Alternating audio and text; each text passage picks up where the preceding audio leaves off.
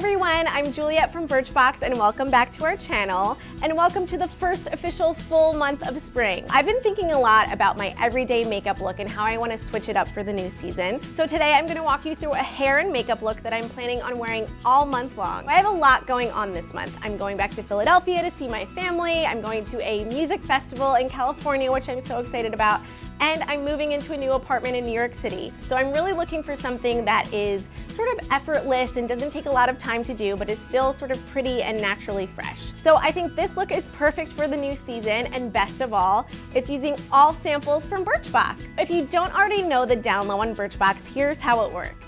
Every month we send you five beauty samples delivered right to your door and you fill out a profile when you sign up so you can say things like I have fine hair, sometimes I get acne, and I really love makeup. You can try new products, you can learn about them through our website and our YouTube videos, and you can buy the full-size versions of your favorites right from Birchbox.com. And we also have a really incredible loyalty program where you can earn points to spend in our shop. So now I'm gonna show you my everyday springtime hair and makeup look using all samples from Birchbox.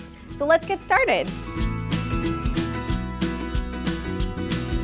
First up for this look, I'm gonna prep my eye area and I'm gonna use this Liz Earle Eyebright. This is a soothing eye lotion, so it's gonna get rid of any puffiness and kind of just refresh my eyes and make them look more awake. You just apply it with a cotton pad like this, and then just kind of gently dab it onto your eye area, underneath the eyes, kind of on top of the eyelids, it's really, really refreshing. So next up, I'm gonna use this CC cream from Supergoop. This is one of my all-time favorite products. We've sampled this in Birchbox before, and I'm so excited that we're sampling it again. It's a really great all-in-one product. It gives my skin a really nice, even finish. It sort of covers up any imperfections and it has a really velvety consistency. So I'm just gonna use a little bit of this and apply it with a beauty blender. And then I'm just gonna bounce it onto my face. And this CC cream comes in a few different shades. I'm using light to medium. Also has SPF in it, which is so great, especially as it's getting warmer now in New York City. Okay, so now that I have my base makeup on, I'm gonna move on to a light contour. I'm gonna use Marcelle's BB cream in Golden Glow. Since it's slightly darker than my natural shade, I'm just gonna use this as sort of a bronzer in the hollows of my cheek. So I'm gonna apply this, a little dab on the back of my hand like I did with my CC cream, and I'm gonna use my Beauty Blender again to apply it, and just sort of make a fish face to see where the hollows of your cheek are.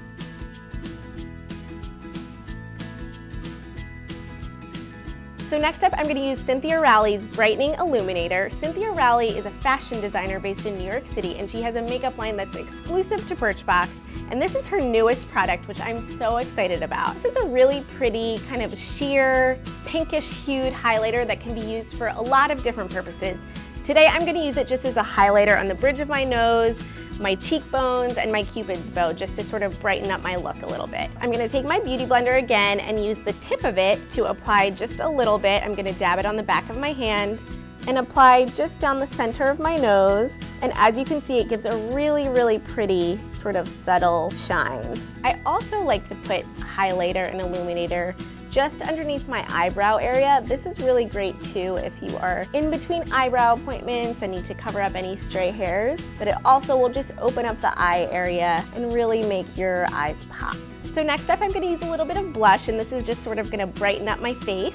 I'm gonna use Jouer's Tint in Petal. This is a really pretty sort of dusty pink color that's really great on all different skin tones. I'm just gonna use my finger and apply it just on the apples of my cheek and it gives a really nice flush that looks natural, which is what we're going for. So this is a cream-based formula that applies really easily so you can build up the color as you go. Next up, the eyes. We really want to make these pop and look sort of bright and wide awake. So I'm really excited about this sample from Pop Beauty. This is a trio of eyeshadows in the color Peach Parfait. So there's a mix of sort of corally, bronzy colors that are going to be perfect for a springtime look. I'm going to start this look with the shimmery sort of bone color all over my eyelid. And I'm just gonna use a fluffy eyeshadow brush to apply it. I'll even go into the inner corners of my eye just to sort of highlight that area and up towards the brow to give it even more of a highlight there. Next up, I'm gonna use the middle color, which is more of a peachy shimmery color, and I'm gonna use a flat eyeshadow brush to apply this just on my lid.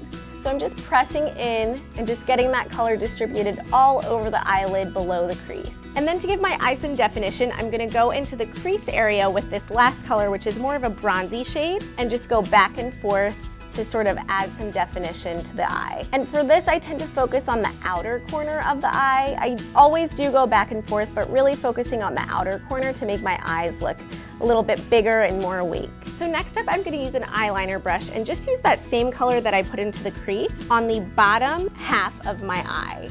And a cool trick I learned if you want to use eyeshadow sort of as an eyeliner like I'm doing here, you can take a liquid highlighter like that Cynthia Rowley one that I used earlier, just dab a little bit into your eyeliner brush, then dip it into your shadow. This will sort of create a little bit more pigment for you as you're applying that liner. It'll make the color pop a little bit more and just add a little bit more definition to your look. Now onto eyeliner. I'm going to use this liquid liner from Eyeko and this is really nice because it has a felt tip so it makes it pretty simple to apply a nice cat eye. But if you need a little bit of extra help with your wing, I actually find it's pretty easy to use an eyeliner brush like this one and just use a little bit of eyeshadow. I'm gonna use the color that I used in my crease and just sort of outline where you want your wing to go with a lighter color. So I'm just gonna start at the outer corner here, just draw a rough outline of where I want my wing to go. So now that I have the guide, I'm gonna apply my Eyeko liquid eyeliner and just start at that outer corner there and follow the little guide that I made with my shadow. Connect it to the outer corner of my eye like that. And then I'm just gonna make a triangle shape.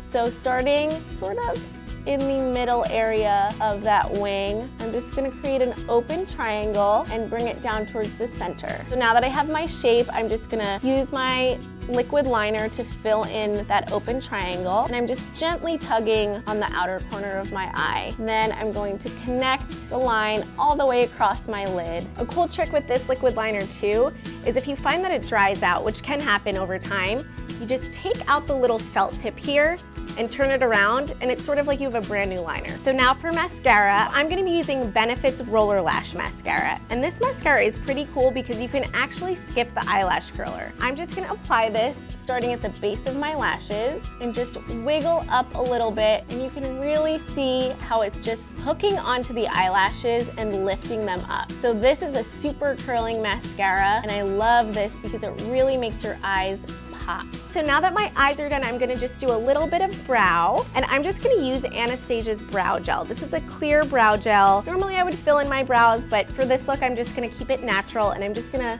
use this brow gel to sort of shape my natural arch and keep my brows in place all day. To finish off my look, I'm gonna go for something really natural and I'm gonna use Jane Iredale's Forever Pink. This is actually a lip and cheek stain and as you can see it's pretty natural looking but when you apply it to your lips it sort of brings out the natural color of your lips for a really pretty natural flush.